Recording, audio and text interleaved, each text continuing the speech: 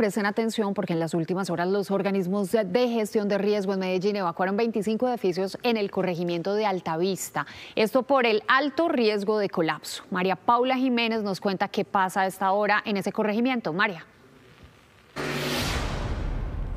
Alejandra, televidentes, muy buenos días. Vea, saludamos con una mañana muy fría y lluviosa, especialmente aquí en el corregimiento de Altavista, sector de la vereda del Manzanillo.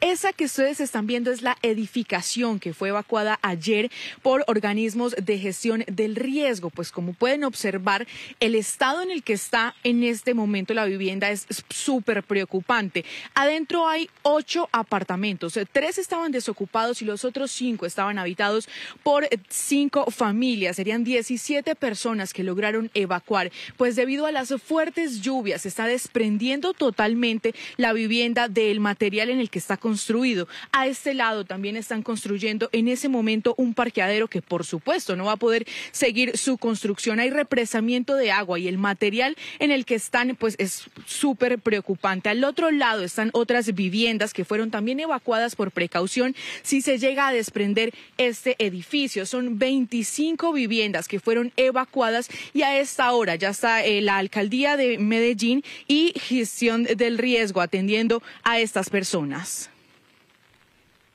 Estas sorprendentes imágenes dan cuenta del peligro que corrían cinco familias en ese edificio de cuatro pisos ubicado en el corregimiento Altavisa de Medellín. La edificación conformada por ocho apartamentos ya venía mostrando irregularidades de construcción y finalmente, en la madrugada de este jueves 27 de junio, una parte colapsó.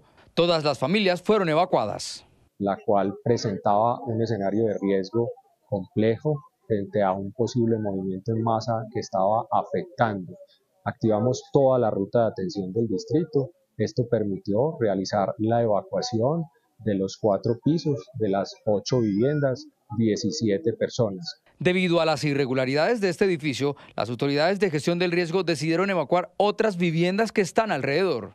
Hemos iniciado también el proceso de evacuación de aproximadamente 24 unidades habitacionales más. Nos encontramos en constante monitoreo de la edificación para poder determinar esas condiciones de riesgo. Mantenemos eh, las evacuaciones y activamos toda la ruta del distrito. El terreno es inestable, según informes técnicos. Este sector precisamente, eh, tras las visitas técnicas que hemos hecho y las valoraciones que se han hecho con el equipo técnico de ingenieros, geotecnistas y demás, pues lo que hemos encontrado es que hay un proceso de remoción en masa, es de tipo rotacional, y este involucra materiales desde suelos residuales de la roca que pues digamos eh, eh, aparece en este sitio de la ciudad, pero también en los depósitos antrópicos. Eh, el proceso de remoción en masa es de características rotacionales, como lo mencionaba, e involucra pues algunas viviendas que están en el sector. Las autoridades aseguran que las recientes lluvias podrían terminar de afectar la estructura que ya presentó los primeros quiebres. Pues la Policía Metropolitana está haciendo algunas rondas por las viviendas que quedan en la parte de más abajo, eso para poder tener una reacción rápida a las personas que habitan en ese sector.